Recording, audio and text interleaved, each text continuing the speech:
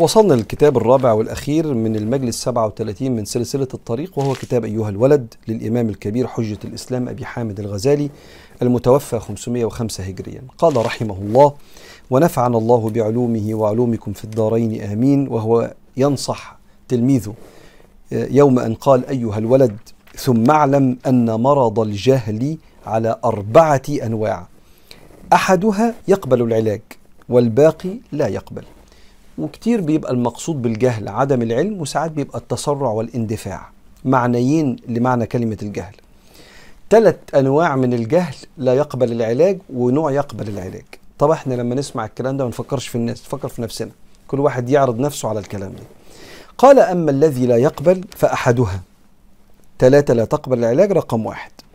من كان سؤاله واعتراضه عن حسد وبغض فكلما تجيبه بأحسن الجواب وأفصحه وأوضحه فلا يزيده أو لا يزيد له ذلك إلا بغضا وعداوة وحسدا. فالطريق يعني الصح يعني السكة الصح ألا تشتغل بجوابه. فقد قيل كل العداوة قد ترجى إزالتها إلا عداوة من عاداك من حسدي فينبغي أن تعرض عنه وتتركه مع مرضه. قال تعالى فأعرض عمن تولى عن ذكرنا ولم يرد إلا الحياة الدنيا. والحسود بكل بكل ما يقول ويفعل يوقد النار في زرع علمه هو. الحسد يأكل الحسنات كما تأكل النار الحطب. والثاني قبل ما نقول الثاني سيدنا الإمام بيتكلم هنا على سواء طالب العلم هو بيكلم شيخ بيكلم طالب علم أو أستاذ مدير بيكلم تلميذه في الشغل بيقول له خد بالك في نوع من أنواع الجهل معاه حسد. فتلاقي اللي بيسأل وبيعترض مش عشان هو عايز يتعلم. ليس سؤال المتعلم إنما سؤال المنكر المتغاظ الغضبان. شايفك أنت أحسن منه ناجح أكتر منه عندك مميزات أكتر منه بتعمل حاجات ومش عارف يعملها أو بتخالفه في معلومة وحجتك قوية فهو منزعج من حاجة زي كده. الكلام ده زي ما أقول لك بيجي في الشغل بتشوفه في التنافسية اللي في الشغل بتشوفه جدا في طلبة العلم. بينا إنك تشوف الشخص بيعترض عليك اعتراض المنكر وليس السائل. فأنت مثلا سمعت واحد بيقول معلومة هي جديدة عليك. ايا كان إيه المعلومة دي؟ فأنت اتغضت إنه بيقول معلومة أنت ما تعرفهاش والمرء عدو ما يجهل فأنكرت عليه واتريقت عليه واتكلمت معاه بطريقة وحشة وشنعت عليه واديته بقى التيكت بتاع الضال المضل المبتدع الحاجات اللي حضراتكم حفظناها في ال social media دي. سيدنا الإمام الكبير حجة الإسلام بيقول لا تنشغل بالإجابة عنده. ليه؟ ده حاله مش هينصلح. لأن الحال اللي ينصلح هو المؤدب. اللي يقول لك أنا سمعتك بتقول معلومة مختلفة. قول لي إيه الحكاية دي؟ إيه الدليل في المسألة دي؟ مين من العلماء قال؟ إحنا طول عمرنا متعلمين ان الاجابة كده يمين انت قلت شمال إيه الحكاية؟ أو الاجابة شمال انت قلت يمين إيه الحكاية؟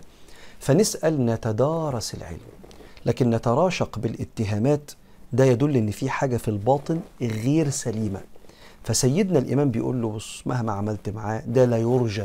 عشان كده العلماء كانوا دايما يعلمونا إنك تجيب من سأل تعلما ولا تجيب من سأل سخرية وإنكارا وهجوما. ليه؟ علشان ما تضيعش عمرك وتضيع وقتك وتنجر لمعركة. المعركة دي هو هيستمتع وانت قلبك هيتعكر. فقال له ما تعملش. وبعدين نقل الإمام الكبير حجة الإسلام بيت الشعر كل العداوة قد ترجى إزالتها إلا عداوة من عاداك من حسدي. والحسد والغل والحقد ينكره كل إنسان. يعني ما فيش حد في الدنيا تقول له انت بتسألني عشان انت بتحقد أو متضايق أو غضبان أو بتحسد يقول لك آه على فكرة ما حدش بيعمل كده. إنما للهجومية والفضح والشتم والسخرية وسوء الأدب ده دي بتبقى علامات إن هنا مش مش مستريح.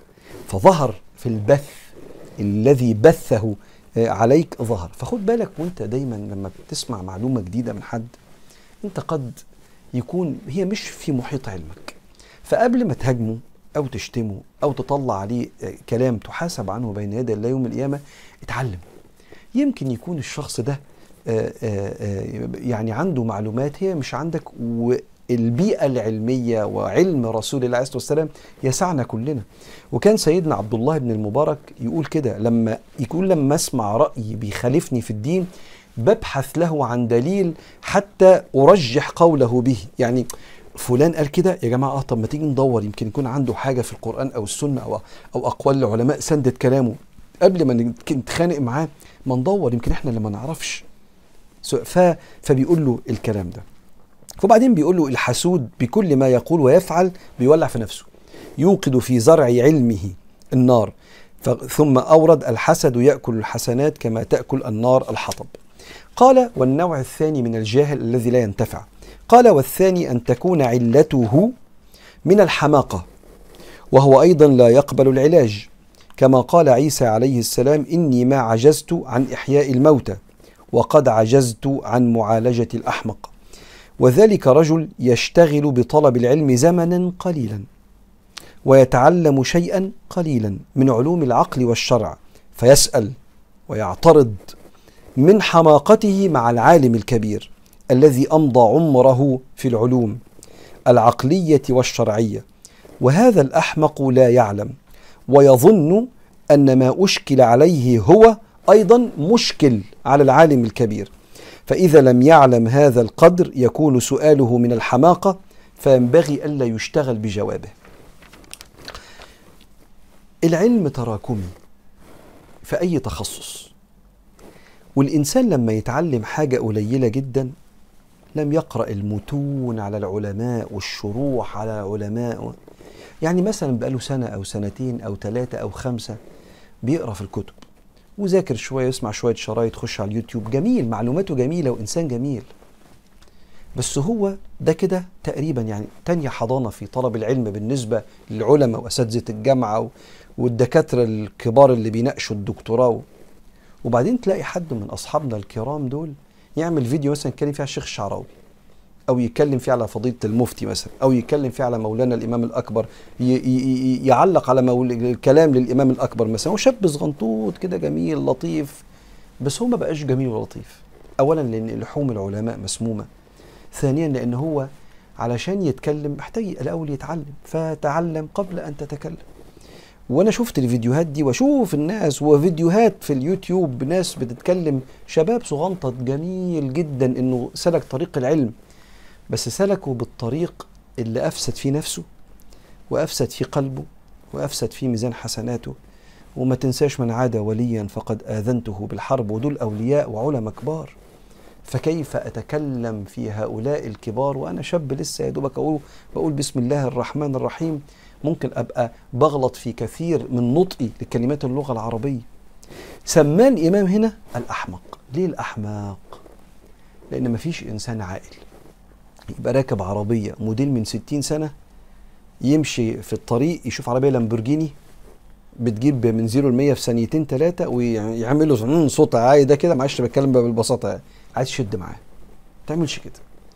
إيه الأول الواحد يقرأ ويتعلم؟ لا مش يقرأ. مش اسمها يقرأ في العلم في اسمها يتتلمذ على العلماء. ده العلماء قال لا تأخذ العلم من صحفي يعني بيقرأ الصحف. لازم الكتاب يبقى قراه الشيخ والشيخ فهمه مراد صاحب الكتاب شرح له الآيات والأحاديث اللي فيه. فالعلم ينتقل من الصدر إلى الصدر لا من كتاب إلى كتاب. ومن أحد أكبر بلاءات الأمة إن اللي يتكلم يكون قرأ فقط. مش بس بلاءات الأمة في الدين بلاءات الأمة في أي آه، اتجاه من الاتجاهات العلمي. مش كده؟ مهم جدا جدا جدا إنك أنت لو بدأت تذاكر وتتعلم وتقرأ اسكت.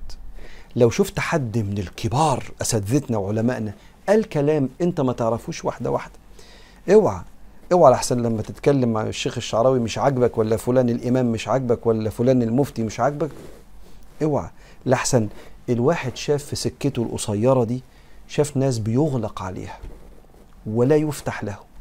وتلاقيه طلع كده وغطس تاني بعد ما خبط خبطة غير مباركة وغير موفقة في الكبار الأئمة من الصالحين والعلماء والأولياء. فسماه الإمام هنا الأحمق ليه؟ لأنه بيعترض وهو يعني قرا قليل قوي. عشان كده مهم جدا أن تدخل في ثوب السائل أن تسأل وتتعلم وتجلس بين يدي العلماء ولو في حاجة مش عاجباك اسألهم هم. مش أتكلم عليهم في المجالس المغلقة وأعمل عليهم فيديوهات. اسأله هو. مكانه معروف. ودور وراه هو. لعله هو يشرح لك فيعلمك.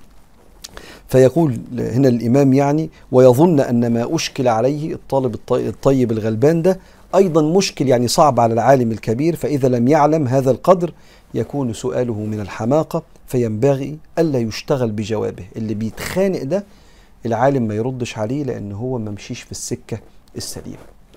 نقف هنا ونكمل إن شاء الله المرة القادمة.